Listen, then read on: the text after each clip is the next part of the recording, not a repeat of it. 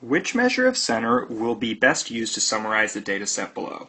There are three measures of center you could use. You could use the mean, the median, or the mode. These are the three measures of center. Right off the bat, I'll tell you that the mode is not a good measure of center to use because sometimes you could have a mode that is at the high end of a data set and sometimes it could be at the low end. So it doesn't do a really good job representing the center of the data set.